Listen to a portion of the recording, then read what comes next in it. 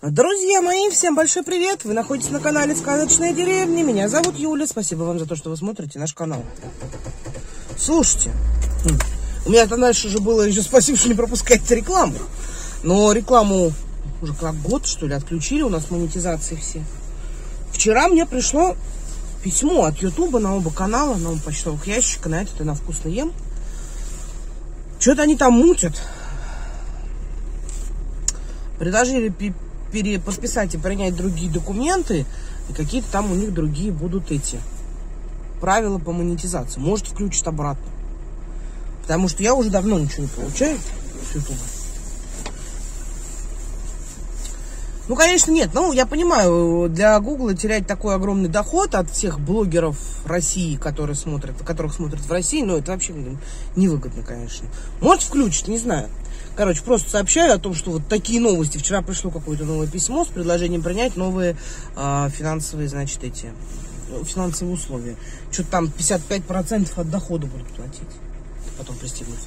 Я вообще, собственно говоря, не об этом. На последнем стриме зрители писали, Юль, снимай, снимай. Честно сказать, особо ничего не происходит и снимать нечего. Также на стриме люди спрашивали, э, как гора, по которой, вот, которая ведет к моему участку. Вот гора, смотрите.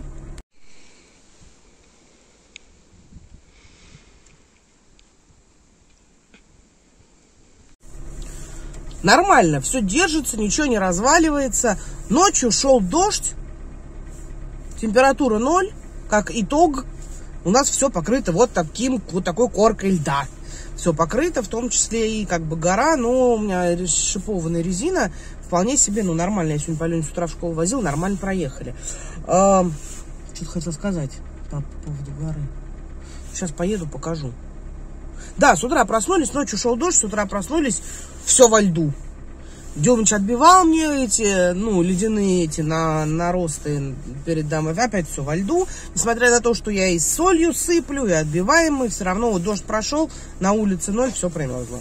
Каток. Два сальта, три шпагата, и ты дома. Значит, я что сейчас делаю? Мне сейчас нужно поехать в Ступино. Пока машина греется, с вами поговорю, так сказать. Мне нужно поехать в Ступино, приехали нитки. Ну, не нитки, шпагаты для вязки колбасы приехали, мне нужно съездить их забрать. А, не люблю работать с деловыми линиями, если честно, но почему-то большинство поставщиков работают именно с деловыми линиями. Мне СДЭК как-то ну, удобнее. Во-первых, он работает по выходным. У нас деловые линии по выходным не работают. Нельзя в субботу или в воскресенье приехать. Но в деловых линиях есть большой плюс. А, там ребята, которые работают э, на складе, они тебе грузят сами в машину. В сдеке никто тебе ничего не грузит. И мне, если что-то приходит большое, тяжелое, э, приходится с демьяном по выходным ездить в сдек. А вот в будни, э, если что-то приходит, то на деловых линиях там грузят. Но еще же нужно от машины домой дотащить. Но ну, завтра уже сегодня четверг, завтра уже пятница. Я, наверное, в багажнике оставлю. Завтра Демьян приедет и разгрузит мне. Посмотрим, как получится. Мне нужны нитки по 50 метров, там надо комплект сделать. Я, наверное, коробку одну сама ну, дотащу.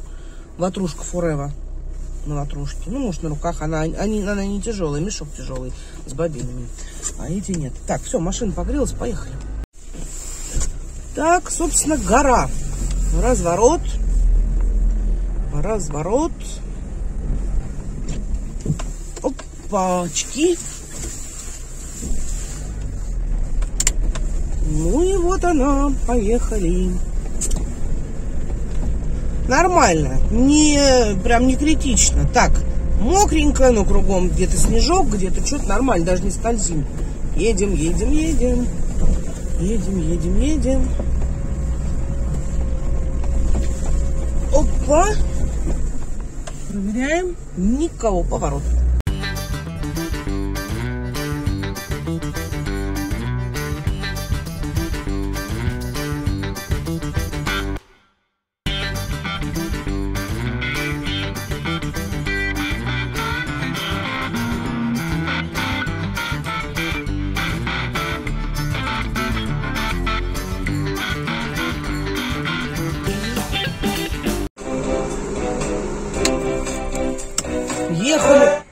Ехали мы, ехали. За 20 минут приехали в славный город Ступино.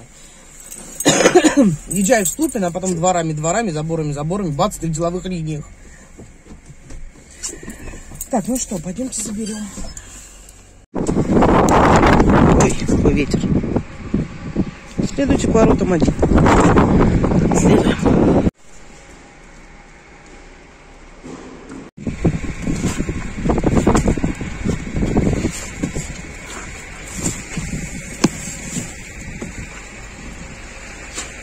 Еще одна? Есть, нет? Нет, так не закроется. А, закроется. Все, спасибо вам огромное. Закинули мне веревочки, да, что вспомнила. А я как-то через деловые линии получала нитритную соль. 24 мешка. В мешке, по-моему, 25 килограмм. Разложил сиденье. Сиденье разложил заднее, ну, чтобы мешки можно было. Да как горище этих мешков. Бедный приемщик, он мне все загрузил. Все загрузил, перетягал эти мешки, в Ниву все уложил. Но дом там уж мы сами разгружали. Да, работка такая себе. Не, ну а что, в принципе. Если сколько они получают.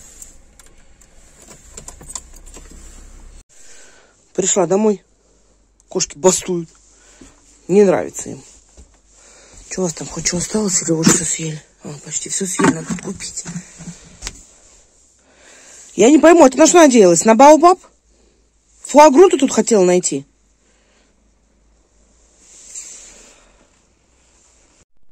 Кутузов так и не нашли. Не пришел, не появился, ниоткуда не вылез, нигде мы его не нашли. В коробках. Анпакинг. Это называется теперь. Ниточки. Красные-белые. Голубочки по 50 метров. По 50, там еще по 100 метров и большие бобины. Тыри-тыри-тыц. Как удобно. Раньше я сама мотала. Ну, маленькие для комплектов, которые вот маленькие такие. Где-то у меня тут. Вот они вчера собирала. Вот пятиметровый, трехметровый, десятиметровый. Я вручную мотаю. Ну, как вручную. Вон у меня там машинка наверху лежит. Сегодня буду мотать, покажу. Для комплектов. А вот эти большие, они и на продажу по 50 метров, и в комплекте к 50-метровым оболочкам вот такие клубки тоже идут. Что буду делать сейчас? Какой план? Новые оболочки пришли, полиамид разных цветов. Вот такая золотая. Еще синюга пришла. Ее вообще тяжело найти. Нашла две штуки. И в красном цвете. Вот золотую вчера почти все отмотала. Осталось трехметровки намотать. Вот с этого метража. Упаковать. Сделать этикетки. В том случае, я карточки, фотографии я уже сделала, отдала их менеджеру. Наташа должна была сделать э, карточки на Вальбересе. В том случае, если она сделала карточки на Вальбересе, мне теперь нужно оттуда взять номер, штрих-код, сделать по нему штрих-код и создать этикетки. Вот сейчас, наверное, этим, пожалуй, я и займусь. О, загрузился наконец-то. Мне на стриме девчонки посоветовали несколько сериалов. Вот начала смотреть «Отчаянные домохозяйки». Пока первый сезон только смотрю, там что-то восьмая, что ли, серия. А, прикольный.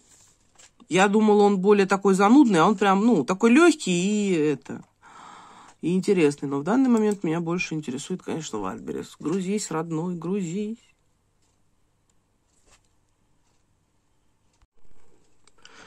Не хочет. Так часто бывает. Это Проблемы на работе сервера, поэтому карточки делаю не я. Когда делаешь карточки вот с таким вот, с такой работой сайта, это просто самоубийство. Как у Наташи вообще терпения хватает, я не знаю. Да, конечно, молодец в этом плане. Грузись, родной, давай.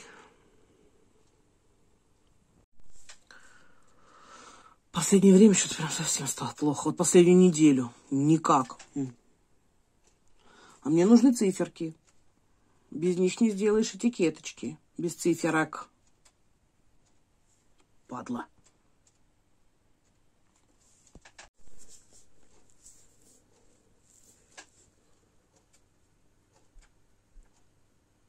Не судьба.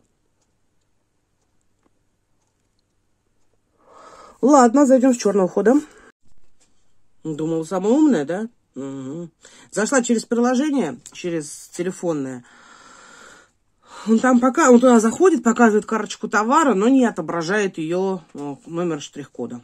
Ну, можно было бы вручную просто перепечатать номера. А он ее не отображает. Нажимаешь на товар, и он тебя выкидывает сразу в магазин Wildberries. Не в редактировании карточки, где можно это посмотреть, а сразу в магазин. Короче, не работает. Ну и ладно, тогда займемся пока намоткой. Мотать тоже много. Сейчас намотаю, сложу по кучкам, по пакетам по метражу подпишу, уж когда загрузится, будем делать этикетки. И еще, конечно, хочу сказать, что работа на Вазберисе, на Озоне не так. На Озоне ребята, ну, они молодцы, там намного все лучше, а, намного все, ну, проще, намного все удобнее, все всегда работает, никаких таких вот проблем не бывает. А, на зоне, ну, там на зоне все классно, как для селлера, но единственное, что там продаж вам в несколько раз меньше, чем на Вальбересе. На Вальбересе продаж больше, но это пипец какой геморрой, чтобы работать с Вальбересом, нужно и определенную долю пофигизма иметь, да, и просто иногда положить большой болт и подождать. Бывают люди, которые не могут ждать, им надо вот прямо сейчас, в этом случае они там начинают э, метаться, писать во все чаты, а не работает. У всех не работает, не только у меня. А, ну и ладно, покрутим тогда пока, включим сериальчик и будем крутить. Слушайте, э, сайт, я, смотрите, видите, написано Lord Serial In. Не реклама, но вдруг. Э, вот в поисковике в любом, в Яндексе забиваете «Лорд сериал», и они там, эти «Лорд сериалы». Этот контент содержит ненормативную лексику, сцены Сейчас. насилия. С рекламой, конечно, но зато бесплатно. И про что я говорила? Вот, и, в общем, э, забиваете прям по-русски «Лорд сериал» в любой поисковик, и он вам выдает кучу зеркал этого сайта. Там будет «Лорд сериал». Вот, смотрите, «Лорд сериалиакс» какой-то. Э, Лорд сериал Ин, Лорд сериал Фан. Их, короче, целая куча будет. Но суть всегда одна. Он выглядит всегда будет у вас, ну, одинаково, в принципе. Это зеркала, я думаю куда-то на один сервак все это дело заливается, а это просто... Их периодически закрывают, они исчезают, опять появляются. Также есть Лорд сериал фильм. Там дофига фильмов, сериалов, всего вот ну, прям очень, очень много. Все бесплатно. Ну, единственное, что иногда выскакивает реклама, но не так уж прям часто. Ну, там пару раз за фильм может быть выскочит реклама. Поэтому вот кому, ну, вдруг кому-то интересно, вот все там смотрю бесплатно. И в качестве бывает, ну, в хоро... чаще всего в хорошем. Недавно даже посмотрела, ну, правда, не здесь, на ВКонтакте в какой-то группе посмотрела этот... Ну, вышел сейчас, который у нас в стране не показывают, как он. Аватар, Путь воды, посмотрела. Хороший, кстати, был ничего такой этот. Ну, и качество было ничего. Но это я где-то ВКонтакте смотрела, нашла. Не очень меня впечатлил. Я так ждала его, так ждала. Первый, конечно, меня впечатлил. Я на первом аватаре была два раза в кинотеатре. Он еще вышел, еще Демьян был маленький. Я прям это хорошо помню. Демьяна оставляла с мамой и ходила на аватар два раза.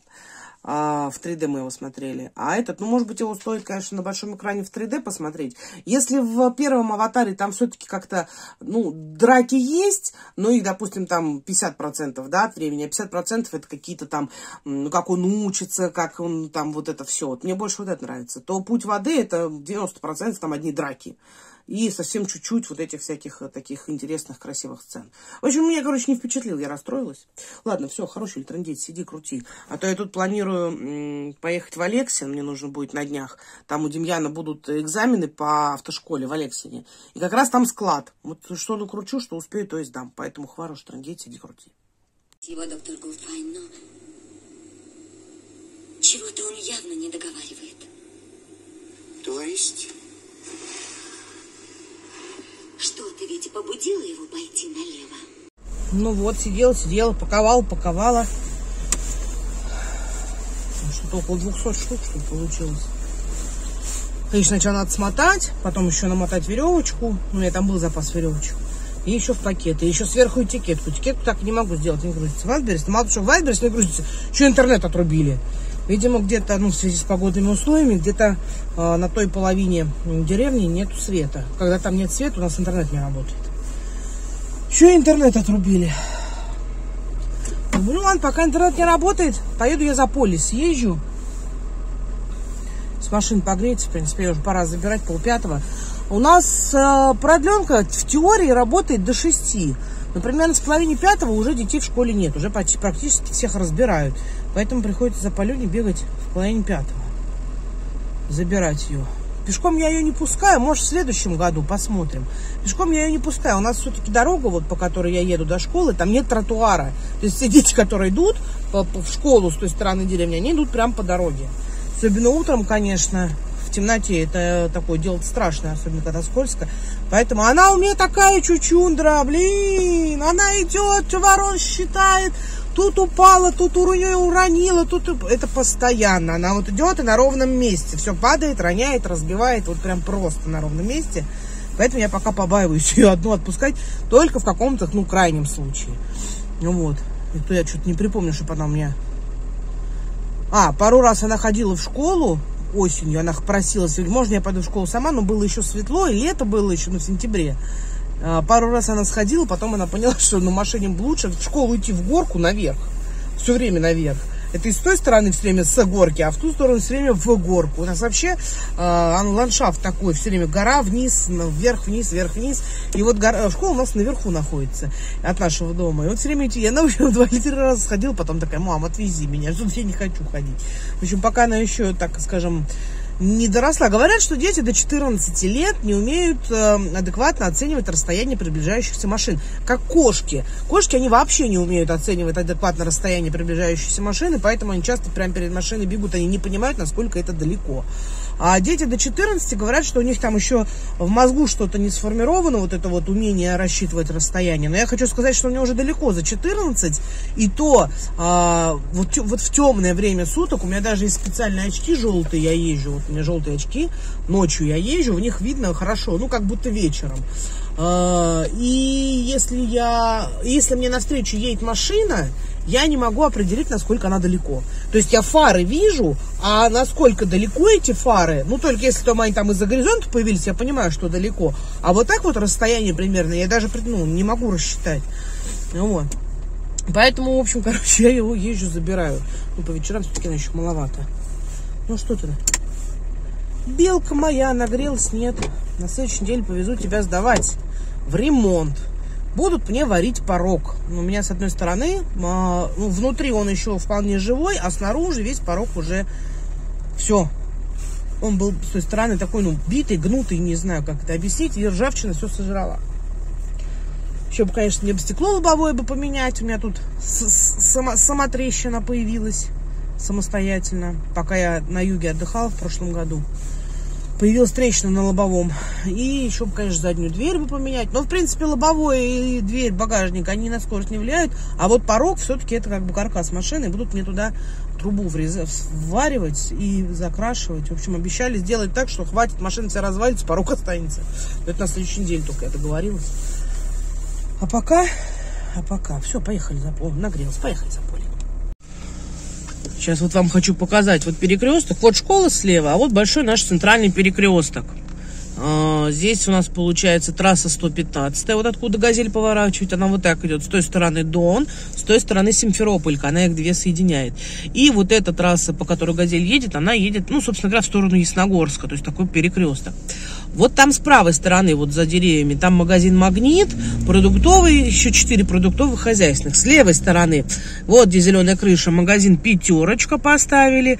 В этом же здании у нас там Ватберис, Озон, кафешка, э, вон там мясо, пиво разливное, в общем, такой типа мини-торгового центра поставили. Здесь, кстати, раньше были дома жилые. Их, ну вот, Стою, выключила вам эту гуделку, чтобы она не гудела. И с левой стороны, смотрите, еще одно здание здоровое строят, будет тоже типа какого-то торгового центра.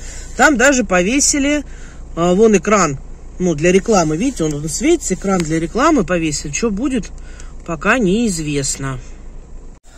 А на этой площади, на этом месте раньше стоял жилой дом на три хозяина, такой длинный-длинный дом. И, ну, выкупили этот дом, эти дома, выкупили, дали денег хозяевам. А, если я... Мне Наташка говорила, я же ни хрена никогда ничего не слышу. Ну, я слушаю, но я очень быстро забываю. Если не ошибаюсь, по-моему, они купили себе... Одни купили дом, ну, участок с домом, по-моему, где-то здесь же. А двое, по-моему, уехали в Каширу, купили себе там квартиры. Дом снесли, сделали площадь.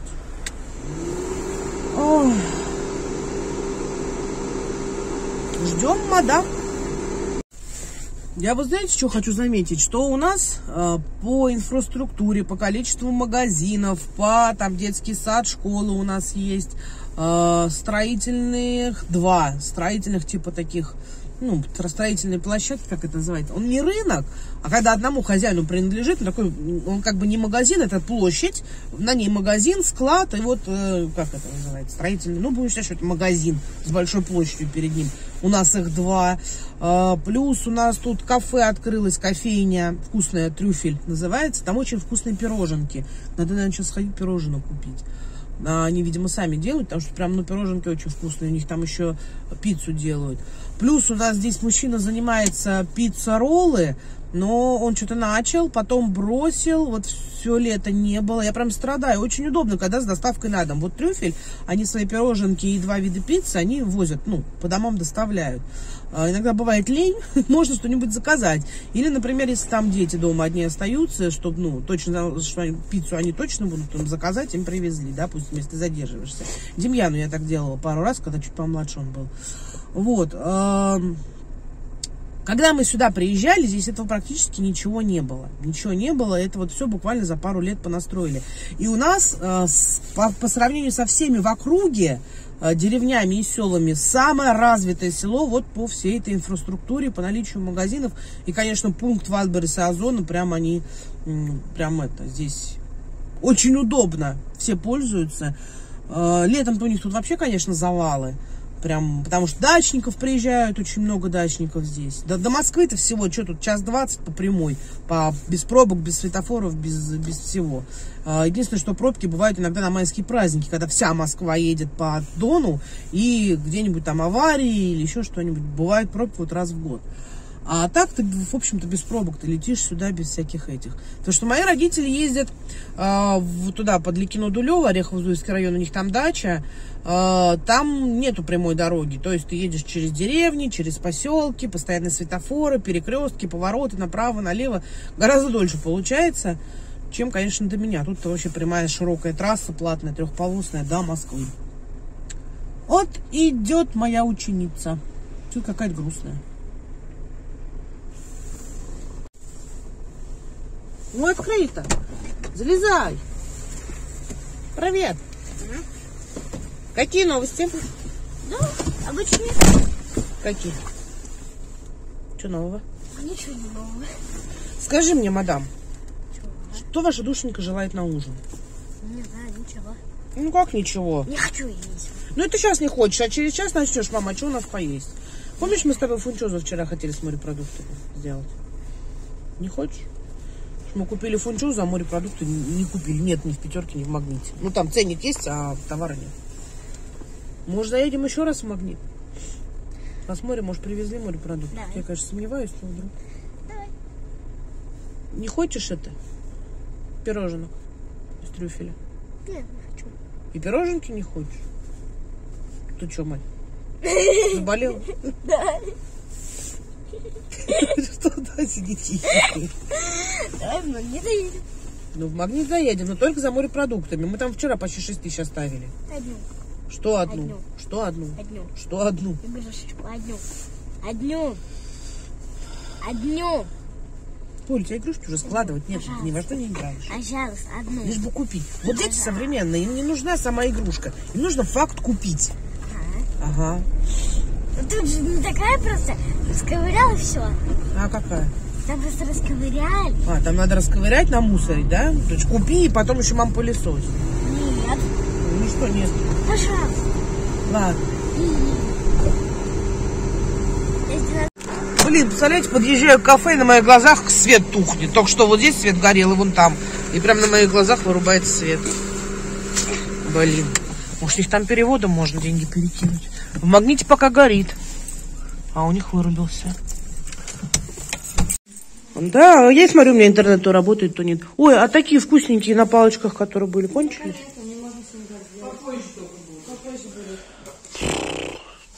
Ну тогда рулет возьмем. Будешь рулет? Дайте нам рулет какой-нибудь. Давайте беленький, который. ну, Есть вот большой, он 490 грамм, но они 1000 за килограмм. А есть вот поменьше, где в упаковочках. Тут Давайте, наверное, 255, поменьше, который светленький. Тут 230. Это 355 Да. грамм дайте? Да. А я не знаю, вы сами делаете их? О, сами делаете. Да, беленьким шоколадно не очень. смешно. Мы купили пироженку, ну, рулет. Вышли и дали свет, представляете? Закон подлости.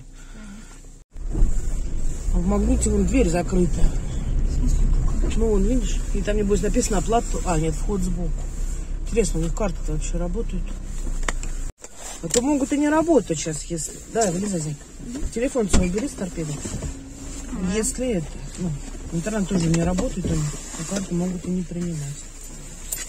Все знаю. В таких магазинах поменьше, попроще. Ну, ты просто по номеру телефона переводишь. Так, конечно, нельзя делать. Но если какой-то... Как сейчас, то можно. Вот о чем я только что... О, поехал. Лада, сидан, баклажан. Взяла в кафе эту, сахар. Просыпала этот сахар себе на руки. Ну, вот ходи теперь с липкими руками. Я только что об этом говорила. Жигули!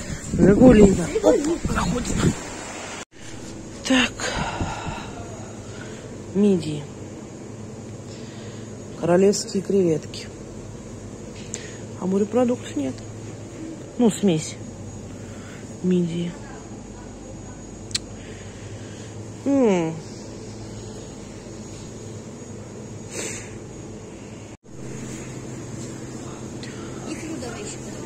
Ты еще вчерашнюю не доела. Бабушка не любит, Поля любит вот эту имитированную икру. Там же полбанки дома в холодильнике. Туда ешь, потом другую возьмем. А то выкину. Что там? Половые крабочки? Че, очень вкусная еда. Ну, бери и пошли. Это крабовое мясо? Это рыба. Крабовые палочки делают из рыбы. Почему краб будет тогда? Ну, они так называются просто.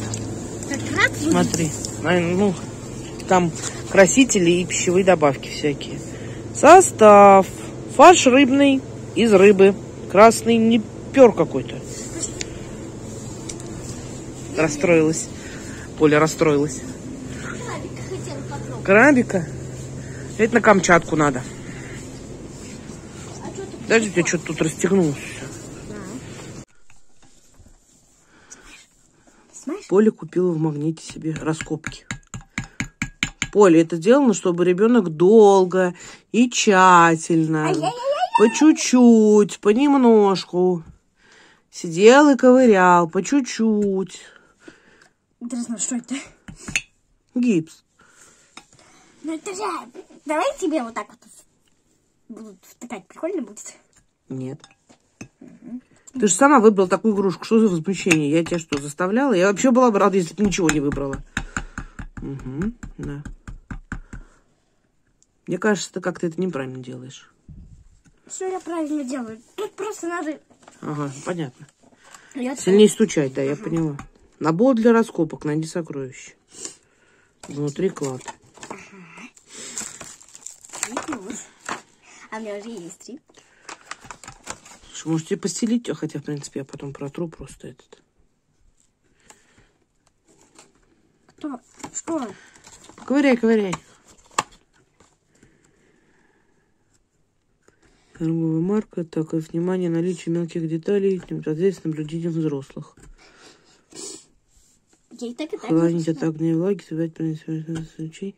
Ну, короче, да, сидишь потихоньку ко- ковыряешь. Ну, ё-моё. Вернись, фокус, убежал. Дыр- Дырочку. Мы засекаем время, насколько тебя хватит. Только водой не заливай, пожалуйста. Потому что это я просто тряпочкой протру, а, а если ты гипс намочишь, я потом этот розовый гипс не отмою ни от, ни от чего. Я ее кое-что можно куда, кое-куда залью? Куда? С пластмассу куда-нибудь что-нибудь. Не надо ничего никуда заливать. Сиди, ковыряй. Так, 5.13. Ну, ужин еще рано готовить. Я обычно в 6 начинаю, к 7 мы ужинаем. Зато хорошие новости, вернулся интернет. Продолжаем. Сборку.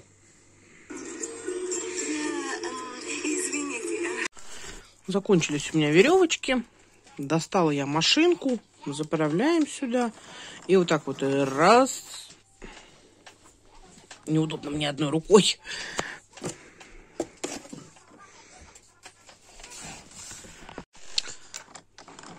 Два, три, четыре, пять раз крутим, обрезаем. Получается вот так, 5 оборотов 3 метра. Надо накрутить, а то не хватает. Копала один. А он там один, наверное. Нет, Ты думаешь, он не один? я думал хотя бы два. Диван у меня какого цвета, Поль? Такого? Зеленого. Зеленого цвета. Это руки мыть. Угу. Можно? Наверное, я не знаю. А, поскольку морепродуктов не нашли мы, на ужин у нас капуста. Поля любит вот такую вот зеленую, Брокколи. брокколи. А я люблю брюссельскую, поэтому у нас ассорти. Ну, с разделением. Мне такую, ей такую. И курочка в панировке. Приятного аппетита.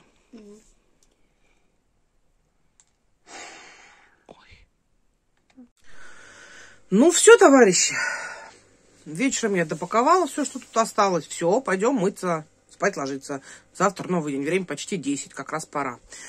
А, Внизу в описании к этому видеоролику полезные интересные ссылки, как найти товары на Ватберрисе, на Озоне, куда я вот все собираю, пакую и вожу. Вот здесь, вот здесь, вот здесь что-нибудь интересное. Если нажмете, обязательно найдете. Все, друзья, всем спасибо большое за просмотр. Всем желаю насыщенных рабочих дней. Пусть ваша работа доставляет вам удовольствие. Все, ребятки, всем пока.